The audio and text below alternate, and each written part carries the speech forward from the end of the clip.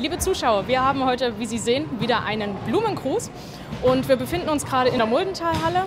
Den Blumengruß wird die Ria Albrecht bekommen und wir gehen jetzt mal rein und suchen uns jemanden, der den Blumenstrauß mit übergibt.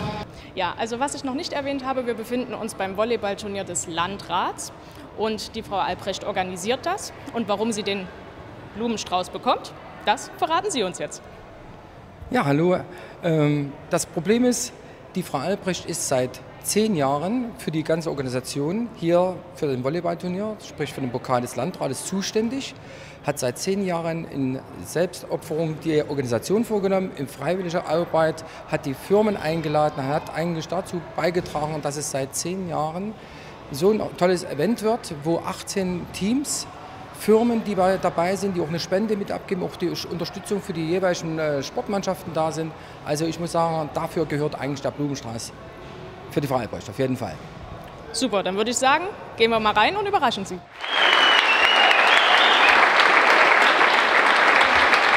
Ja, wir würden ganz gerne mal kurz unterbrechen und die Frau Albrecht zu uns rufen.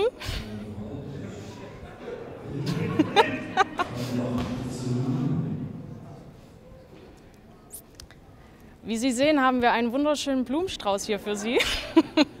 Der ist vom Blumenladen zum Blumenkind. Warum Sie den bekommen, erstmal herzlichen Glückwunsch. Dankeschön. Sagt Ihnen Ihr Kollege. Okay, danke.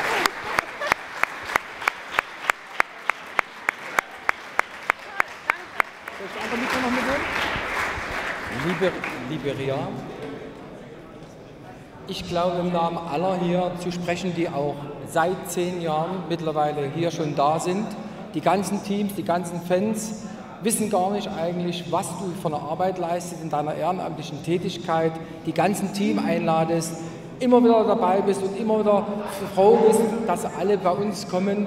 Und wir bedanken uns nochmal ganz recht herzlich für deine unwahrscheinliche Organisation, vor allem in deiner Freizeit, die du hier für uns und heute zum 10. Jubiläumsturnier geleistet hat. Vielen, vielen Dank. Ich danke euch. Danke.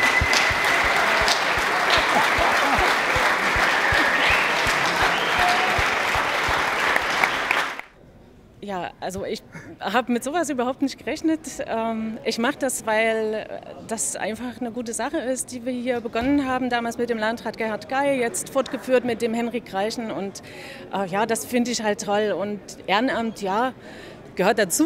Das ist einfach so. Und vielen, vielen Dank.